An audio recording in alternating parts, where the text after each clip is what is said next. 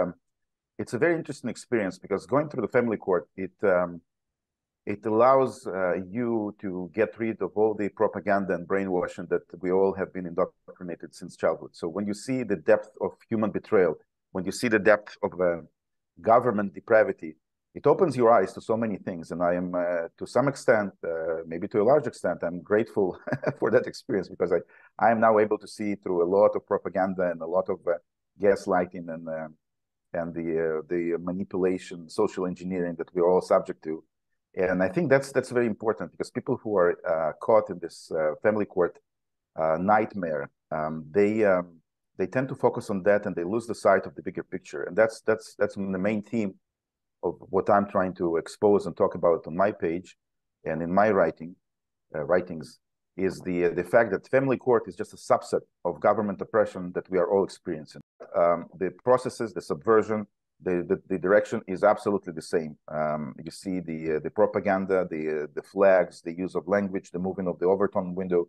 It's all there, and family court is a key pillar for for all of that because um, how dictatorships uh, start or how they endure and, and, and persevere by taking um, uh, by taking apart the family. It's right there in the Communist Manifesto. Uh, I again, um, people who want they may, may read my post, but um, one of the prominent uh, ideologues of uh, the Soviet Revolution, Kollontai, Alexander Kollontai, wrote that, and I'm rephrasing, paraphrasing, that mothers mothers should forget um, that children are theirs. The children belong to the community, to the state, and we are seeing all that. So government is very clever. divide mm-hmm. and conquer has been the um, the method of uh, of uh, the ruling class for for millennia, right?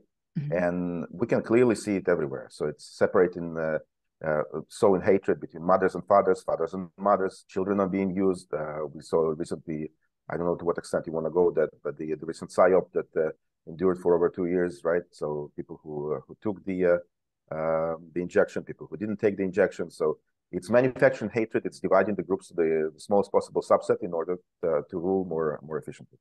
Mm-hmm. Need to say it uh, outright. It's predatory government. We see predatory practices Mm-hmm. And um, we see the courts and we see the whole cottage industry uh, around them essentially predated, right, preying on um, on helpless uh, victim, victims. So uh, the um, the common denominator for us should be due process.